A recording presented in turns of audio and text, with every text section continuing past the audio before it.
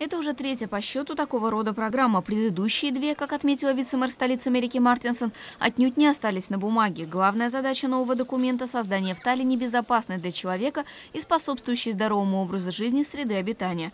Понятно, что особое внимание при этом уделяется молодежи и тем людям, которые по разным причинам испытывают трудности в нынешней реальности и не могут самостоятельно справиться с проблемами.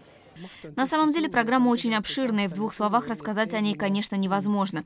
Но в третьей программе мы решили как никогда большое внимание обратить на здоровье детей и молодежи. Но тут есть и своеобразное послание к пожилым людям.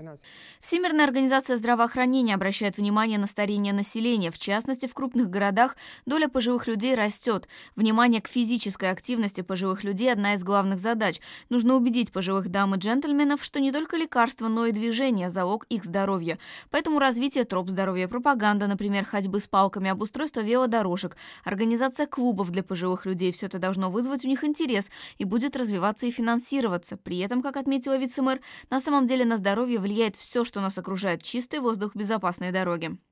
Важная часть нашей жизни – это та среда, которая нас ежедневно окружает. Воздух, вода, движение, чувство безопасности, несчастные случаи на работе или в школе, на улице – все это и многое другое играет не последнюю роль в здоровье людей. И за пять лет совместной работы всех департаментов Таллина и при поддержке горожан мы сможем сделать многое, чтобы улучшить и укрепить здоровье наших жителей.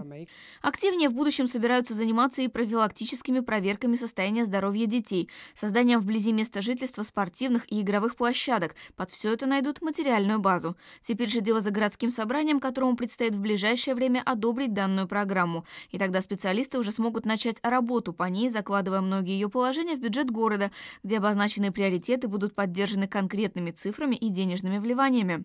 Екатерина Плехова, Сергей Попридуха, Первый Балтийский канал.